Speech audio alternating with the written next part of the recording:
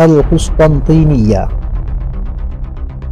فلنعم الأمير أميرها ولنعم الجيش ذلك الجيش. هذه بشارة نبوية. سعى لتحقيقها كثير من الصحابة والتابعين.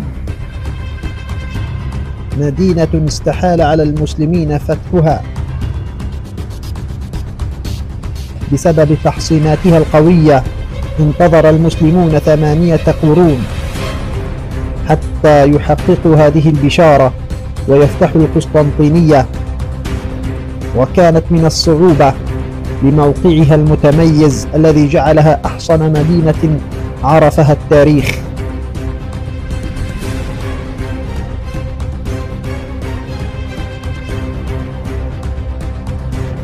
ومن أجل فتحها كان لزاما على المسلمين أن يفتحوا كل مدن الدولة البيزنطينية وكان أولها سنة 44 للهجرة وذلك في خلافة معاوية ابن أبي سفيان وصولا لمحمد الفاتح.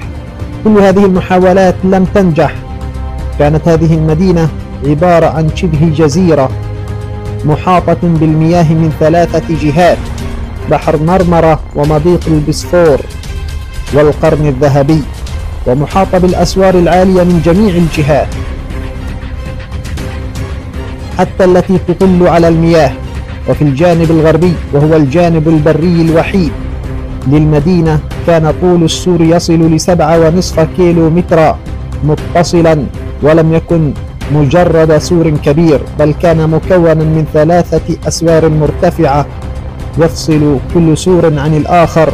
مسافة عشرة أمتار.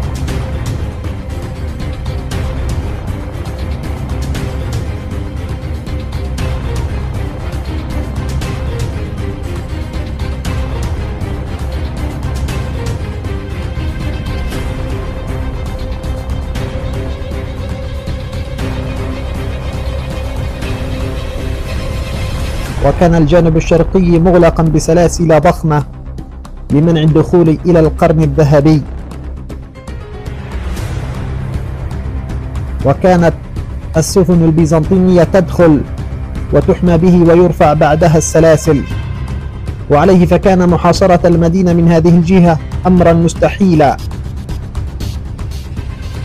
وكانت المدينة كلها مؤمنة.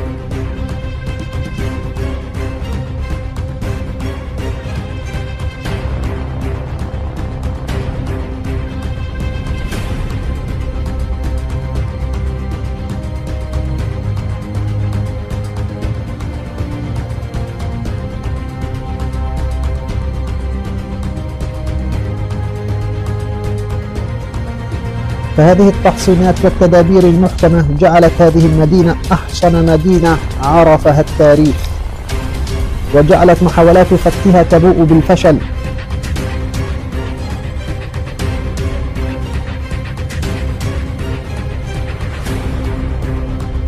وبدأ فتحها في عهد محمد الفاتح الذي حكم الدولة العثمانية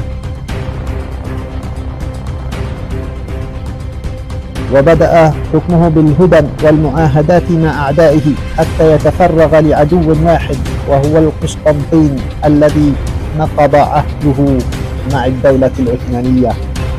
واستمر السلطان لمدة سنة يستعد للفتح فجمع جيشا ضخما وجهز الجيش بأقوى وأحدث الأسلحة مثل البنادق والتي كانت طفرة وقتها والمدافع والبارود. وأنفق أموالا كثيرة على هذه الأمور ولم يكتفي بهذا فقط. فقد أحضر مهندسا مجريا وأعطاه ضعف المال الذي طلبه. ذلك من أجل أن يصنع مدفعا ضخما وفعلا نجح في عملية التصنيع. خرج المدفع السلطاني للنور وكان المدفع لم يعرفه العالم وقتها ووصل مدى القذيفة الواحدة لأكثر من ميل ونجح السلطان. بأن ينشئ أسطولا بحريا من الصفر.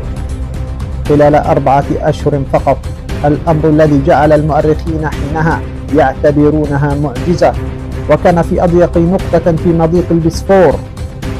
وقف ليقطع أي إمدادات يمكن أن تصل في القسطنطينية. قوة البيزنطيين حينها لم تكن لتقارن بقوة المسلمين ولكن لديهم ميزة المدينة المحصنة وكان عندهم أسطول صغير يقف في القرن الذهبي قرابة 26 سفينة وعندما وصلت تجهيزات الفاتح لحاكم المدينة وهو قسطنطين الحادي عشر. حاول قسطنطين وقتها أن يرشي مجموعة من مستشاري الفاتح لكي يؤثر على قراره. ولكن هذه المحاولات فشلت لأن إصرار الفاتحة كان أكبر من أي شيء.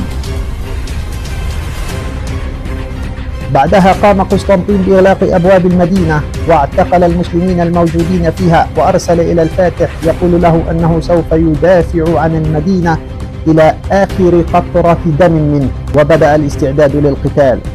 وشحن المدينة بالمؤن والذخائر ولم يكتفي بذلك فأرسل إلى أوروبا ليطلب المدد.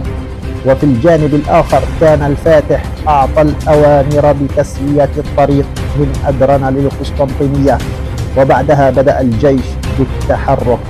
ومعه الأسلحة والذخائر وطبعا المدفع السلطاني الضخم أمر الفاتح قائد الجيش الإسلامي وقائد الأسطول بالتحرك ووصل السلطان للمدينة وأول شيء فعله أنه نصب خيمته أمام بوابة سانت روماس وصلى ركعتين لله بعدما قام بتوزيع القادة والجنود.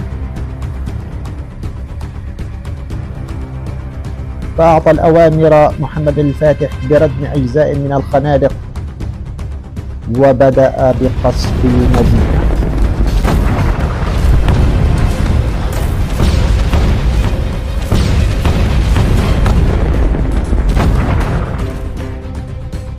وتفاجأ الجميع بقوة وضخامة المدفع العثماني واستمر القذف لمدة أسبوعين.